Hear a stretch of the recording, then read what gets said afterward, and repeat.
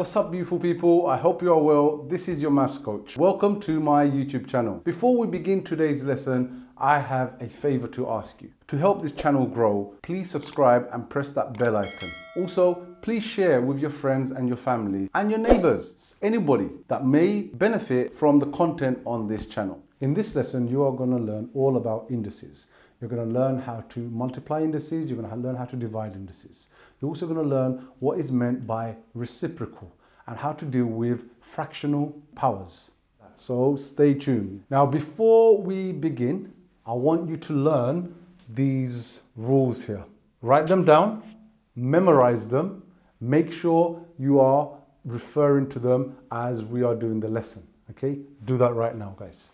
All right, so let's apply these rules here onto our example questions. All right, so if we have 7 squared and we want to multiply with 7 to the power of 5, okay, what do we do? Both bases are the same, so we can apply our rule, which was a to the power of m times a to the power of n, and we just simply do m plus n, which is to add the two powers, and that gives 2 plus 5, which is 7. So the answer is 7 to the power of 7. In the next one, x to the power of 5 to the power of 4. We saw, we saw that if we have a to the power of m and you have a power outside, then you simply multiply the two powers. So here we're going to do 5 times 4, giving us x to the power of 20. Next, we've got b to the power of 8 divided by b to the power of 5, and we've seen that a to the power of m divided by a to the power of n, you simply do a to the power of m minus n, so you take away the two powers. So here, we're going to do 8, take away the 5, and that gives you 3. Now this only works if the base numbers are the same, okay? That's very, very important. You can't apply it in other situations where the bases are different. We're going to look at those later on and see how to deal with those. All right, so now to warm you up a little bit, let's start with this one here. So first of all, we are only going to deal with the top here. So 7 to the power of 3 and 7 to the power of 5, we add the two powers together and that gives us 7 to the power of 8. And then we just rewrite this, so 7 to the power of 6. Now you've seen with division, you take away the powers, so you do 8 take away 6, and that gives 7 squared. Now we're going to leave our answer in 7 squared, although we can write 49 if the question says evaluate. But if the question says leave your answer in index form, then that 7 to the power of 2 is the index form.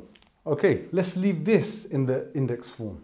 So x to the power of 3 to the power of 6 divided by x to the power of 4. So first of all, we're going to deal with this by multiplying the two powers here. So 6 times by 3 is 18, and we're going to rewrite this as normal. And now they are dividing, so we're going to take the powers away. So therefore, x is equal to 18 minus 4, and that gives you x to the power of 14. Now, this is higher level GCSE work. Write 2 to the power of 3 times 4 to the power of 5 as a power of 2. So this, is, this 2 to the power of 3 is already in a power of 2. It's this that we need to change. How do we do that? You see, 4 can be rewritten. 4 on its own is 2 squared. And that 5 is outside. So all we've done is replace the 4 by writing it as 2 squared. You see, now we've got the base number of 2. So we can start dealing with the index laws. Now that we have 2 squared, which is 4, written like this, we can apply our rule, which is to multiply the two powers, so 2 to the power of 10. And now we have the multiplying, so we add the two powers, so 2 to the power of 3 plus 10, and that gives us 2 to the power of 13. So now you can see that we have rewritten all of this as a single power of 2. Now the next question is write 16 times 2 to the power of 6 as a power of 4. Neither of these have a base of 4. So we need to make change both of them. We need to change both of them. So 16 can be written as 4. How? We know that 4 squared is 16. So 16 alone can be rewritten as 4 squared. And 2 to the power of 6. Now this is not so straightforward, but we have to still be able to do this. And the way that we are going to do this is we are going to borrow from some of this power here. Okay, so if we borrow, let's say 2 squared, okay, that leaves us with only 3 because remember 2 times 3 has to give you 6 and that still does. So as things stand, this is still 2 to the power of 6 because the 2 and the 3 will multiply. However, if you look inside that bracket, 2 squared is 4. So really, you've now got 4 cubed. So 4 squared times 4 cubed. Now we've got everything as a power of 4. So therefore, we just need to collect these two together by doing 2 plus 3, which is 5. So 4 to the power of 5, a single power of 4. Now we move on to the negative reciprocal. Let's see this in action. Now I've left this one deliberately uh, incomplete because I am going to complete this with you. Okay, but let's have a look at an example where we apply the first one. So if we have something like this, 7 to the power of minus 2. Whenever you see a minus in the power, straight away you have to use reciprocal. Okay, you need to remember this. So make a mental note of this. A negative in the power means 1 over. That's what reciprocal means. So it's going to be 1 over whatever you have. So you have 7 squared. So you see, there's no negative here because I've dealt with the negative by writing 1 over and you have 7 squared. And 7 squared is 49 and you could write this like that if you wanted to. Let's do another example of that one. So 5 to the power of minus 3. So we, the negative is going to mean 1 over. 1 over what? 5 cubed. We don't need to write them negative anymore because we've dealt with it. And 5 times 5 times 5, that gives you 125. So this here is the answer to that. That is the application of that. One more, did you say? All right, one more then. All right, let's try this with um, 9. 9 to the power of minus 5. Okay, so what's it going to be? 1 over. That's what the negative wants you to do. And then you write 9 to the power of 5. Now, 9 to the power of 5 is going to be a large number on a calculator, so I'm just going to leave it like that because the aim is just to show you how that rule is applied. Now, this one, I said I'm going to complete with you. So now that you've seen how I've applied it on the first one, what would this be? Remember I said the negative means reciprocal. It doesn't matter what this number is, you write it underneath with that power. So 1 over a over b to the power of m. That's exactly what I said you need to do. You continue by doing 1 over a to the m and b to the m. You see that powers both of them. It powers both of them. So you've got this now. This is a special situation here. When you have something divided by a fraction, there is an explanation mathematically behind this, but I'm, I'm not going to go into that now. Just remember, you take the number right at the bottom and multiply at the top. So if you multiply this right at the top, it'll be 1 times b to the power of m, which gives us b to the power of m, and that will remain at the bottom here, and this is what you are left with. So we are going to apply this now. So minus, so 1 over 1 third squared. That square is going to do to both of those. So 1 over 1 squared, which is 1, we don't need to write that. And 3 squared is 9. And once again, the 9 will come and multiply right at the top. So you get 9 over 1, which is essentially just 9. I'm going to do one more time with another example. So we've got 5 over 2 here, minus 3. So we've got 5 over 2 to the power of minus 3. Once again, 1 over 5 over 2 cubed. So can you see what I've done with the negative? I've just done 1 over the entire number without the negative this time. Okay, so that 3 will power this and power that. So it'll be 1 over 5 cubed over 2 cubed. And that gives us 5 times 5 times 5, which is 125, and 2 times 2 times 2, which is 8. and take the 8, multiply at the top, so you get 8 over 125. This next example says evaluate 5 to the power of 6 times 5 to the power of minus 2. Now evaluate means to find a final answer, so you don't leave it in an index form.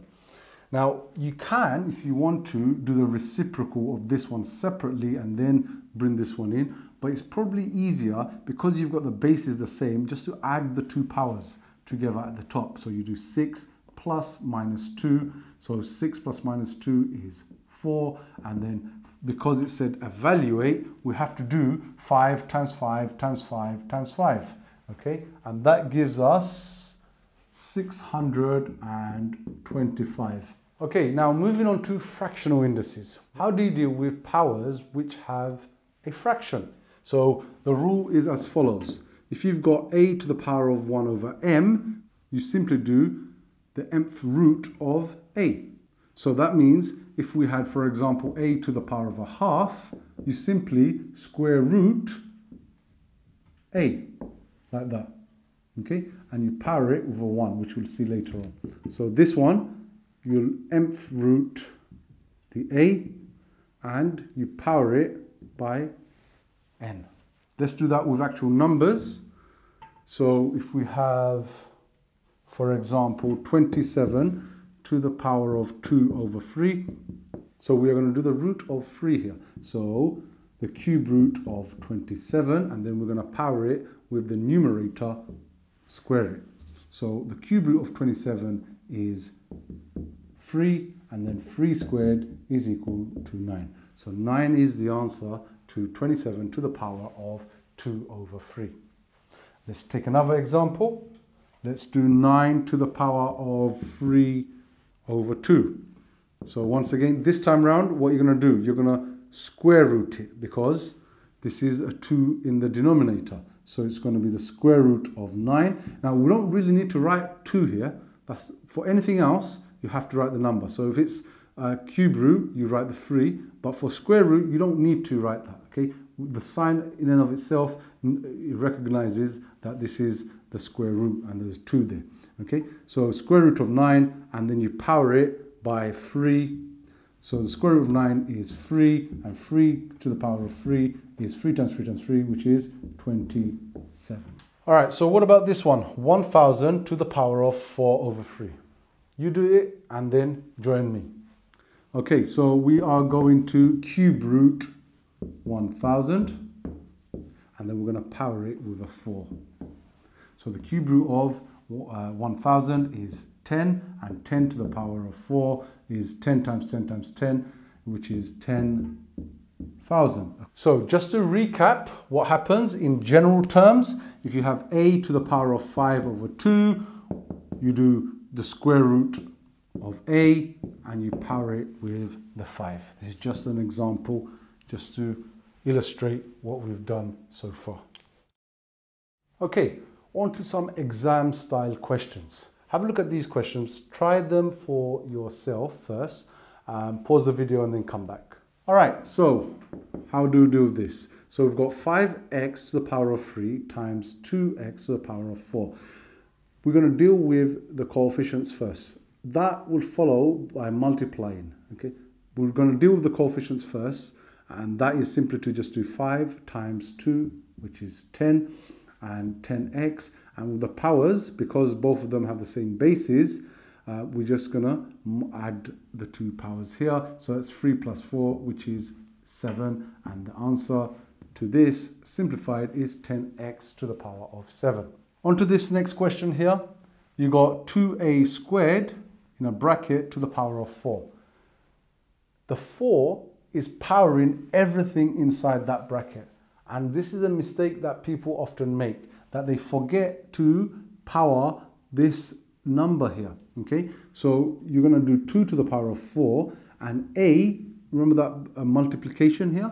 That's gonna apply. So two times four is eight. So you have two to the power of four, A8. But we can't leave 2 to the power of 4 like that. We have to find what this answer is. So that's 2 times 2 times 2 times 2, which is 16. So you get 16a to the power of 8. And that's the answer for that one. Now, I've put this one here because we haven't had an opportunity to discuss this one, but b to the power of zero. Anything to the power of zero is gonna always equal one.